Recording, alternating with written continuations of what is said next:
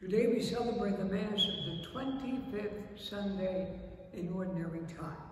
In the name of the Father, and of the Son, and of the Holy Spirit, Amen. The Lord be with you. My dear friends in Christ, as we come before the Lord today, we give him praise and thanks. The Lord reminds us today that we must not put ourselves first, but we must be the servant of all. With that in mind, let us acknowledge our sins as we prepare to celebrate the sacred mystery. Lord Jesus, you call us all to serve your Father. Lord, have mercy. Christ, who served us by dying on the cross, Christ, have mercy. Lord, you invite us to serve one another in your name. Lord, have mercy. May Almighty God have mercy on us, forgive us our sins, and bring us to everlasting life. Amen. Glory to God in the highest, and on earth peace to people of good will. We praise you, we bless you, we adore you, we glorify you. We give you thanks for your great glory. Lord God, heavenly King, O God, Almighty Father, Lord Jesus Christ, only begotten Son, Lord God, Lamb of God, Son of the Father, you take away the sins of the world. Have mercy on us. You take away the sins of the world. Receive our prayer. You are seated at the right hand of the Father. Have mercy on us. For you alone are the Holy One. You alone are the Lord. You alone are the Most High, Jesus Christ, with the Holy Spirit, in the glory of God the Father. Amen. Let us pray. O God, who founded all the commands of your holy law, upon love of you and of our neighbor. Grant that by keeping your precepts, we may merit to attain eternal life. Through our Lord Jesus Christ, your Son, who lives and reigns with you in the unity of the Holy Spirit, God forever and ever. Amen.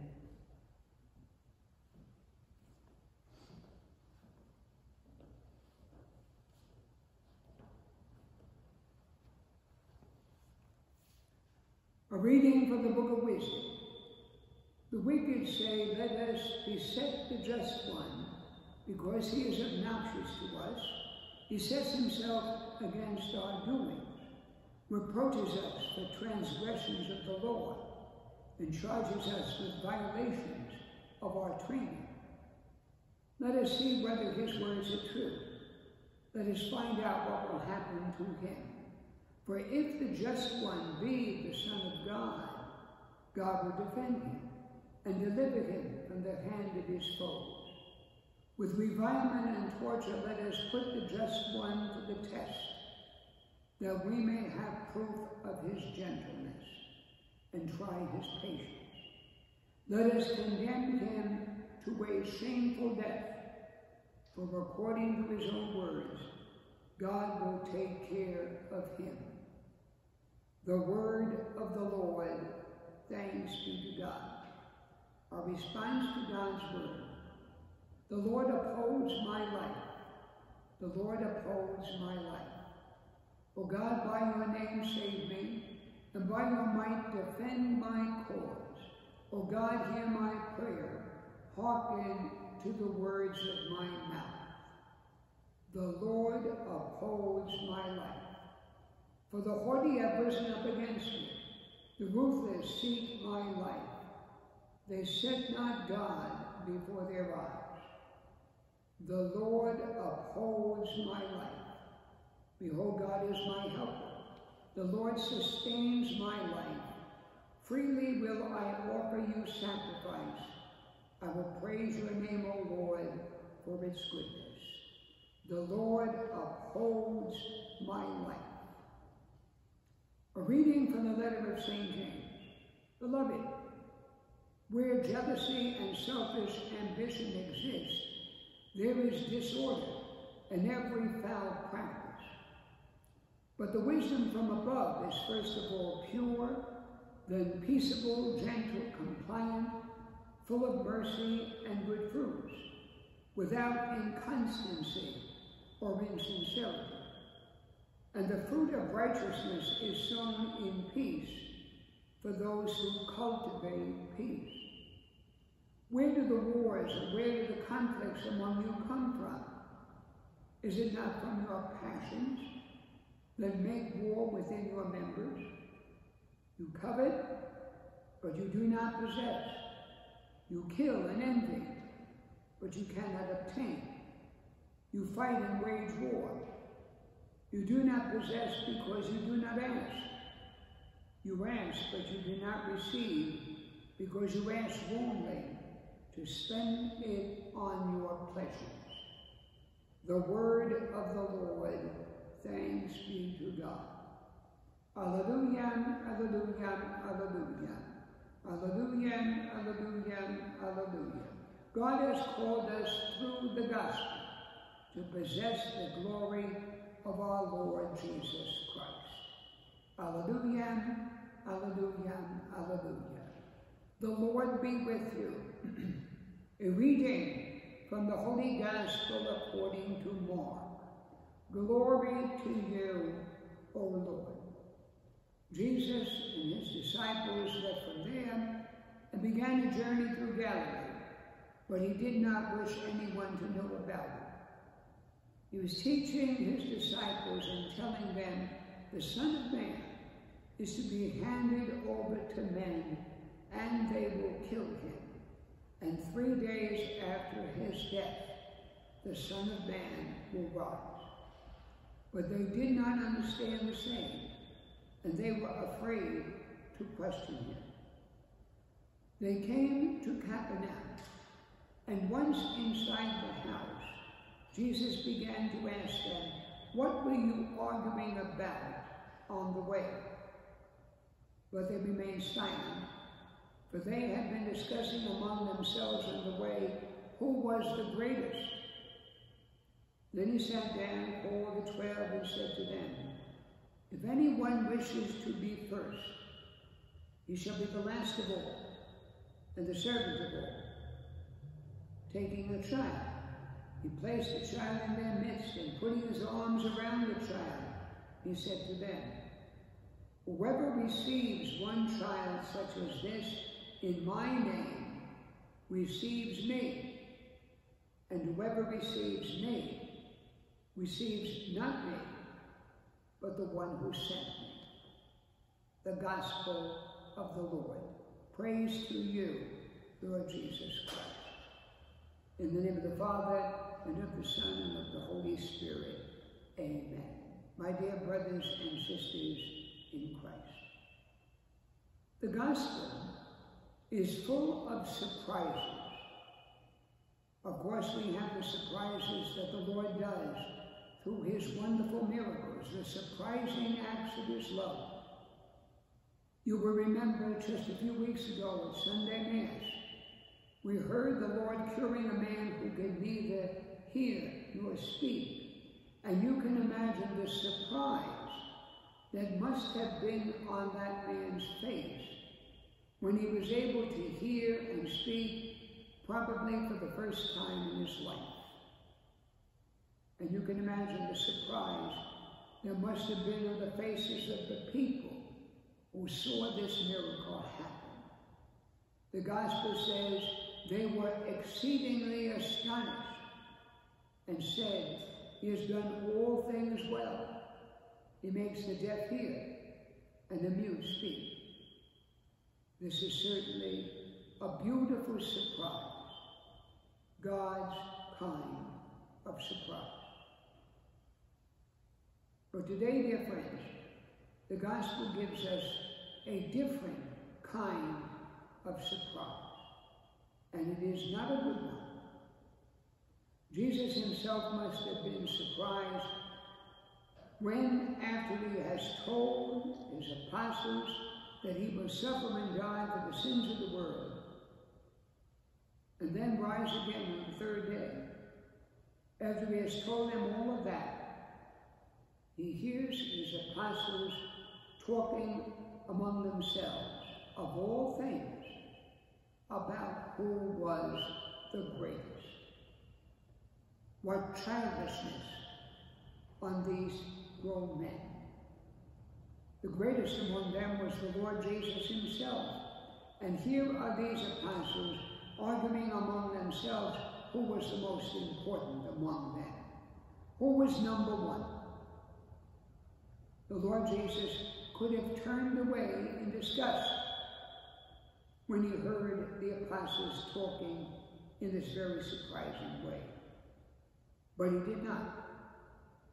The Lord was patient with them, and the Lord is patient with us.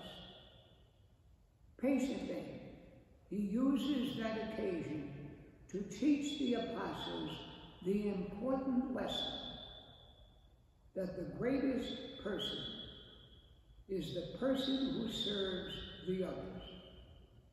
The greatest person is the person who receives a child, whether that is a little child or shall we say a much older child like us. The greatest is the one who serves, even as Jesus served, and served us to the point of dying to set us free. On Friday of this week, we celebrate the feast of a saint who certainly was an example of serving others. He lived 400 years ago in France, and his name is St. Vincent de Paul. He was ashamed that he came from a poor family. His family had to struggle to help him to become a priest. Then he was ordained a priest and at first he thought that he would just now serve the rich and the famous. But God is a God of surprises. When the young Father Vincent was on a sea voyage, his ship was attacked by pirates who sold him as a slave. And there in slavery, he saw what poverty really was and his heart was changed. This once proud young man who wanted to serve the rich and the famous now resolved to spend his life serving those who were poor. After two years, he was set free, and he returned to his native France to do his priestly work. And then God gave him, shall we say, the surprise of his life.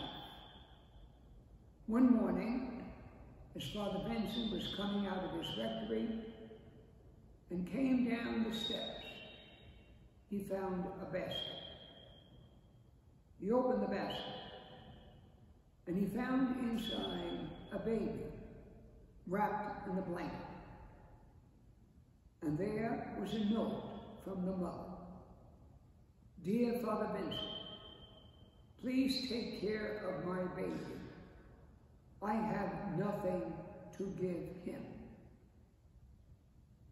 And that began the work that Father Vincent would do for the rest of his life. He spent every day serving the poor, serving the suffering. He wrote this, we must keep our hearts open to the sufferings of other people.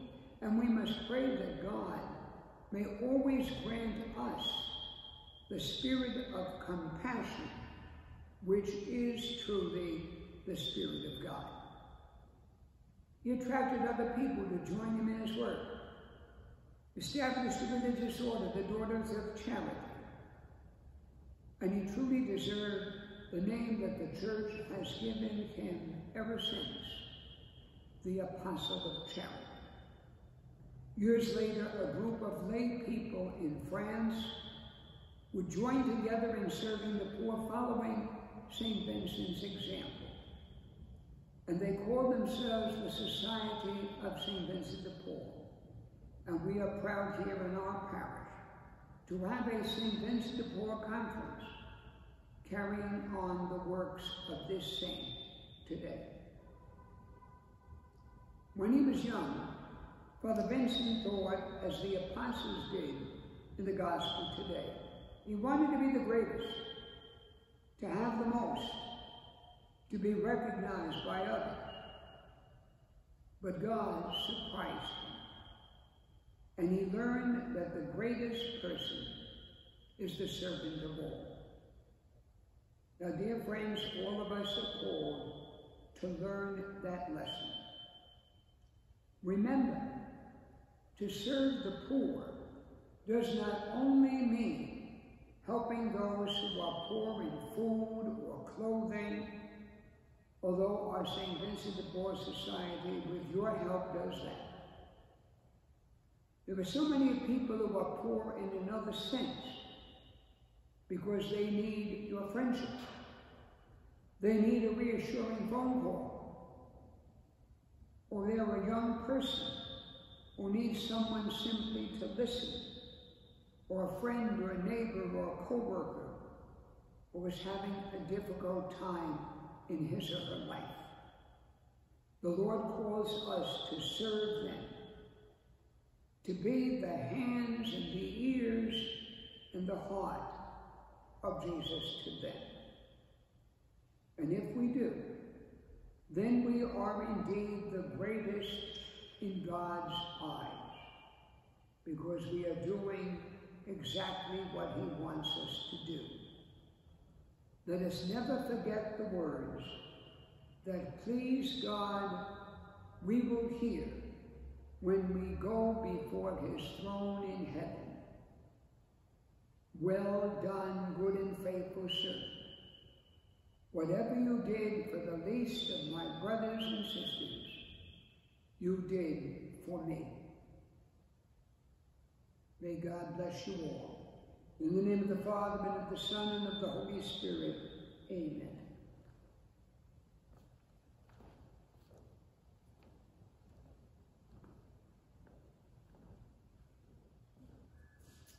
We join in our profession of faith. I believe in one God, the Father Almighty, maker of heaven and earth, of all things visible and invisible. I believe in one Lord Jesus Christ, the only begotten Son of God, born of the Father before all ages, God from God, light from light, true God from true God, begotten, not made, consubstantial with the Father. Through him all things were made. For us men and for our salvation, he came down from heaven. And by the Holy Spirit was incarnate of the Virgin Mary and became man. For our sake, he was crucified under Pontius Pilate. He suffered death and was buried and rose again on the third day in accordance with the scriptures. He ascended into heaven and is seated at the right hand of the Father. He will come again in glory to judge the living and the dead, and his kingdom will have no end. I believe in the Holy Spirit, the Lord, the giver of life, who proceeds from the Father and the Son, who with the Father and the Son is adored and glorified, who has spoken through the prophets. I believe in one holy Catholic and Apostolic Church. I confess one baptism for the forgiveness of sins, and I look forward to the resurrection of the dead and the life of the world to come. Amen. Dear friends in Christ, standing in God's holy presence, we present our needs before him, saying after each of them, Lord, hear our prayer. For our Holy Father, Pope Francis, our Archbishop Timothy Cardinal Dolan, and all the leaders of the church, that they will help us to continue to grow in faith and holiness, we pray to the Lord. that following the words of the gospel today, we will remember that the greatest person in the eyes of our Lord is the person who serves others in his name. We pray to the Lord.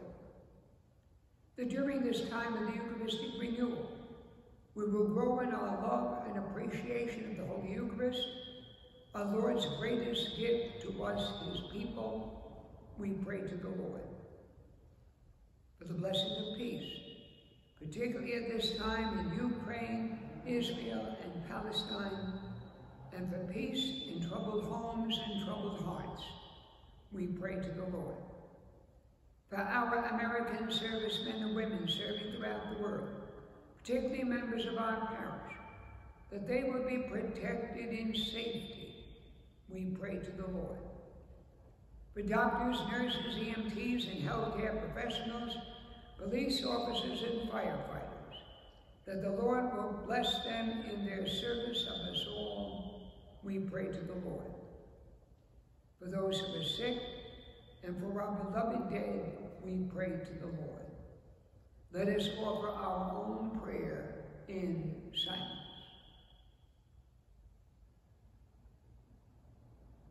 Heavenly Father, hear the prayers of your people. Guide and protect us in our journey of life. And one day bring us safely home to your kingdom.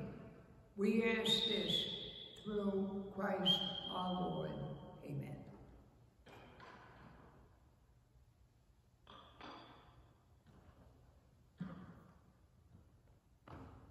Blessed are you, Lord God of all your goodness we have received the bread we offer you, fruit of the earth, the work of human hands. It will become for us the bread of life. Blessed be God forever. By the mystery of this water and wine, may we come to share in the divinity of Christ, who humbled himself to in our humanity. Blessed are you, Lord God of all creation. For through your goodness we have received the wine we offer you, fruit of the vine and work of human hands. It will become our spiritual drink. Blessed be God forever. Wash away my iniquity, O Lord, and cleanse me from my sin.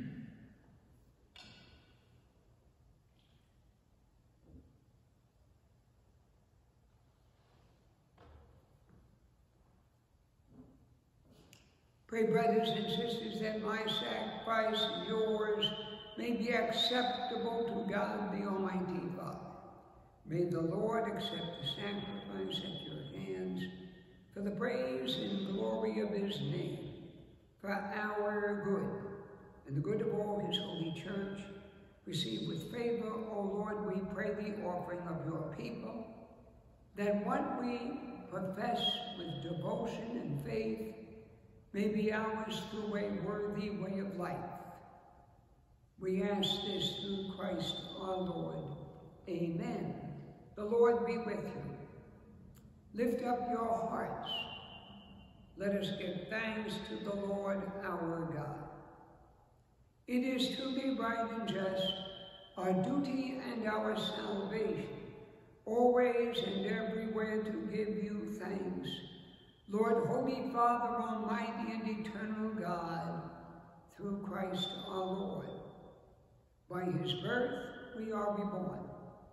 By his suffering we are freed from sin.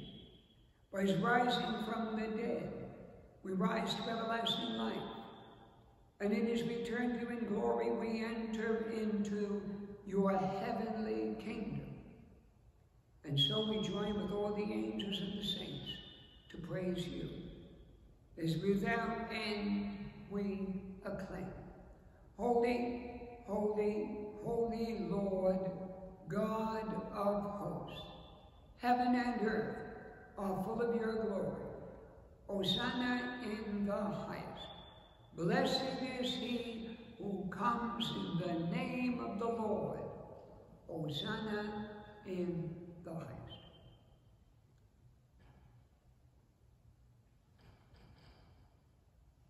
We pray the second Eucharistic prayer. You are indeed holy, O Lord, the fount of all holiness. Make holy, therefore, these gifts, we pray, by sending down your Spirit upon them like the dewfall, so that they may become for us the body and blood of our Lord Jesus Christ.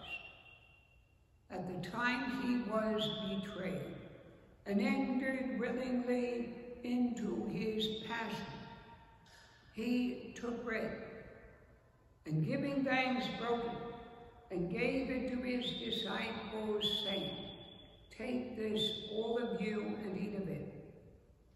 For this is my body, which will be given up for you.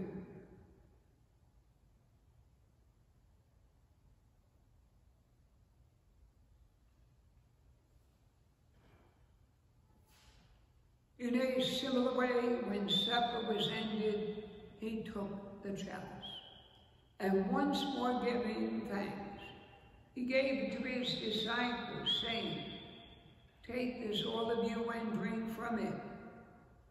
For this is the chalice of my blood, the blood of the new and eternal covenant, which will be poured out for you and for many for the forgiveness of sins. Do this in memory of me.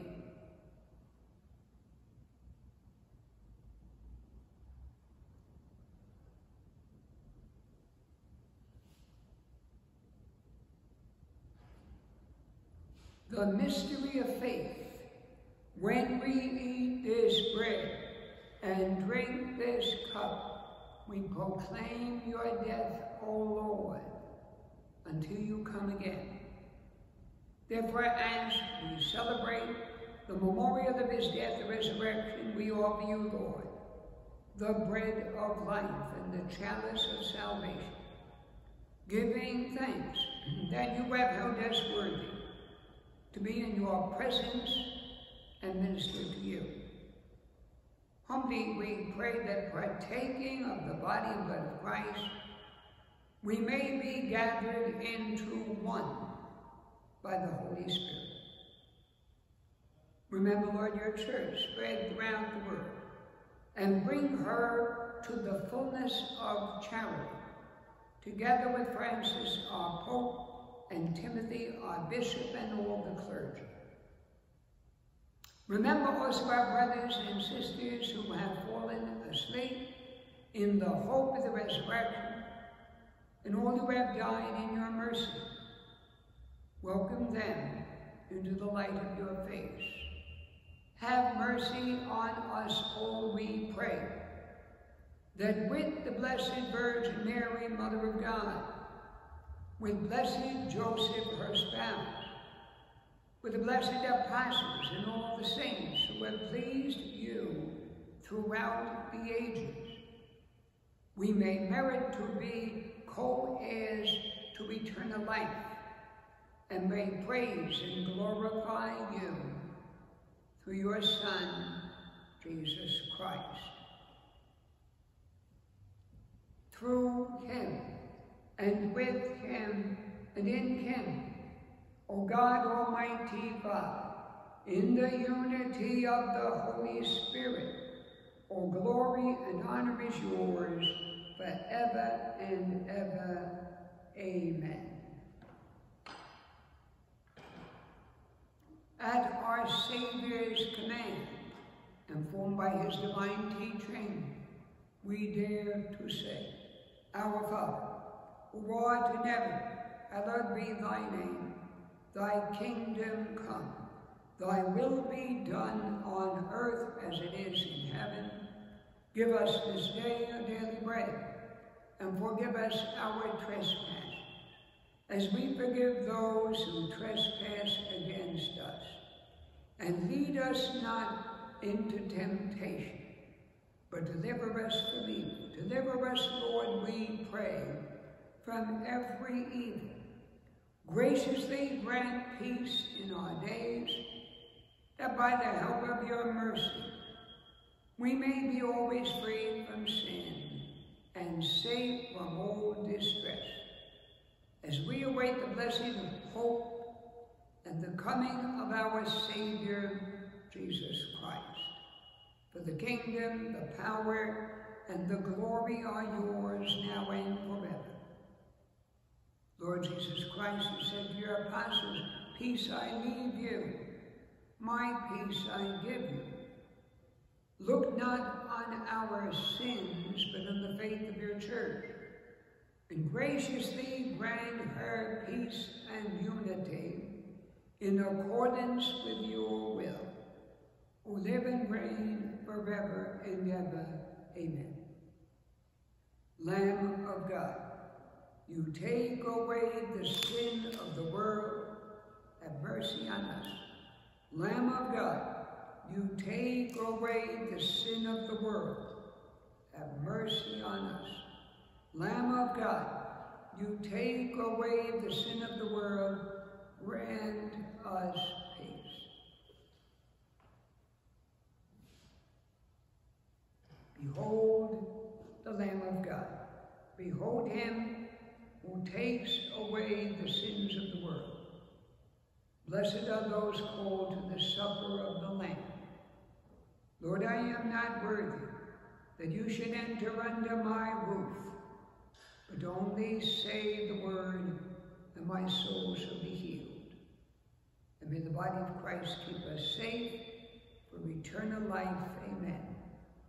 We invite you to welcome our Lord in spiritual Holy Communion to your heart.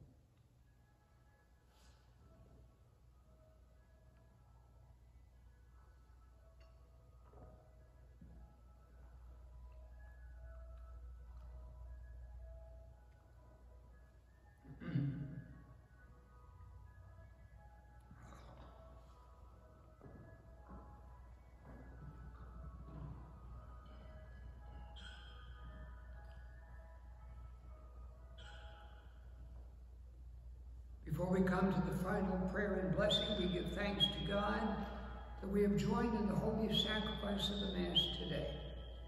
And again, I remind you that you are remembered at all of our Masses here in our church. We look forward to welcoming you here so that we can join in praising God together. Let us pray. Graciously raise up, O Lord, those you renew with this holy sacrament, that we may come to possess the redemption, both in mystery and in the manner of our life, through Christ our Lord. Amen. The Lord be with you. And may Almighty God bless you, the Father and the Son, and the Holy Spirit. Amen. Let us go in peace to love and serve the Lord Thanks be to God.